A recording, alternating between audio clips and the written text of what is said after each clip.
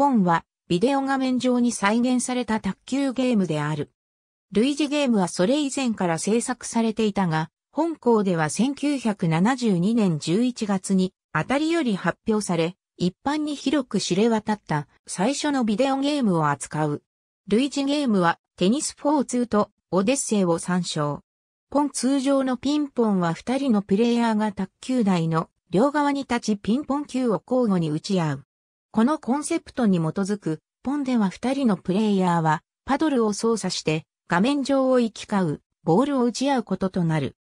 パドルがボールに当たればボールは相手側に跳ね返っていき、パドルで相手コーナーに跳ね返すことができなかった場合は、相手の得点となり、15点選手した側が勝ちとなる。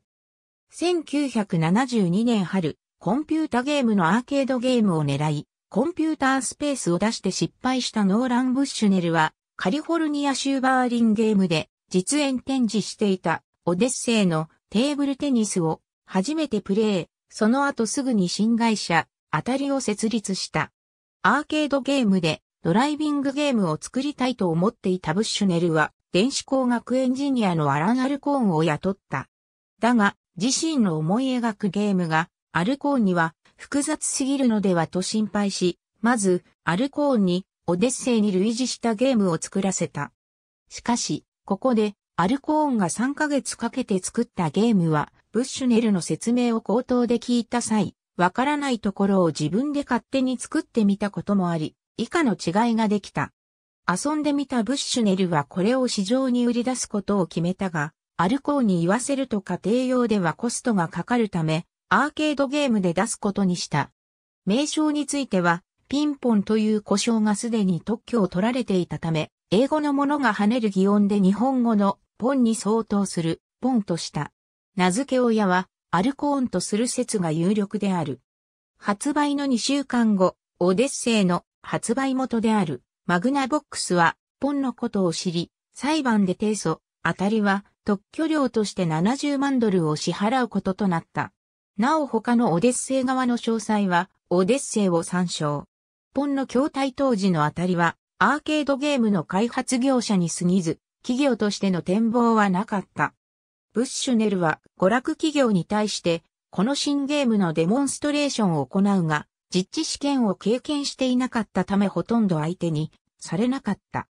そのため、ピンボール会社のウィリアムスとバリー・ミッドウェイにアポを取っていたブッシュネルとアルコーンはシカゴに向かう前に急遽コイン投入口を取り付けたロケテスト用機械を準備した。テスト機はボックス型でなく、テレビ、電子レンジ状の型にまとめられ、オレンジと黒に塗られた筐体が作られた。ちなみに、テスト機及び初期量産機の画面は、日本の日立製の家庭用テレビを電気屋で買い、そのまま筐体にはめ込んでいた。テスト機は最初にカリフォルニア州サニーベールの酒場アンディキャップスでロケテストされ、設置直後こそテスト機に注目しプレイした客は二人だけだったが、翌日には朝に客が酒場の開店を待って行列を作るほどの人気となった。やがて、酒場のオーナーからテスト機が故障したので、対応するよう連絡を受けたアルコーンがテスト機を開けると、コイン入れとして設置しておいた牛乳パックが25セント効果で溢れ返り、コイン投入口が詰まっていた。アルコーンはこの大成功をシカゴにいたブッシュネルに伝え、ブッシュネルはポンを自分たちで製造することを決定した。しかし売り込みに行っていた会社には、検討しますと言われたが、興味を持たせてしまったので、ブッシュネルは次の商談で、ナッチング社は、ポンをボツにしましたと嘘をつき、ポンを断念させた。ブッシュネルは、こうして、下先三寸で、相手の決定を自分に有利なように持っていくテクニックをよく使っていた。生産数は、当たりが、当初零細企業だったため、正式な記録が残っていないが、約8000から1万2000、間を取って約1万台だろうと考えられている。ポンは1974年まで生産され、アメリカでは1970年代の終わりまで、ヨーロッパでは1980年代の初めまで人気を博し、今日のゲーム機市場を形作った。なお、発売直後の増産や超人種不足については、ポン以外のゲームにも関係してくるため、当たりにまとめたので、そちらを参照。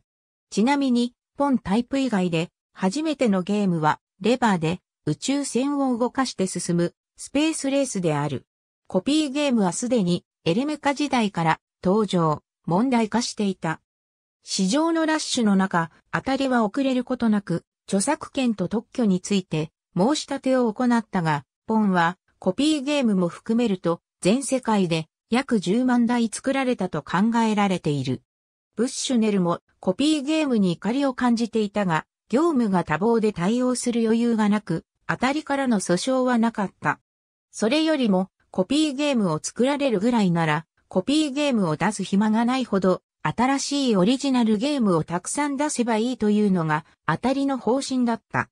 非常に単純なゲームのため、電子部品ではなく、ゼンマイと歯車など機械要素を使った実現例もある。2018年に中国のニツテクノロジーとアメリカのカイリーンファーが当たり許諾品としてビデオゲームではないポンの家庭用テーブル筐体当たりテーブルポンを共同開発した。日本ではカガアミューズメントが輸入し、対等が販売する。ガラス製のテーブルの内にあるパドルとボールは立体物であり、内側から磁力やモーターで動かす仕組みで、点数は LED で表示されるというもの。他の機能として、Bluetooth スピーカーや USB コネクタが4個付属している。また、コイン投入型の業務用、テーブル筐体も開発、販売している。2018年8月1日、店舗での稼働が始まった。ありがとうございます。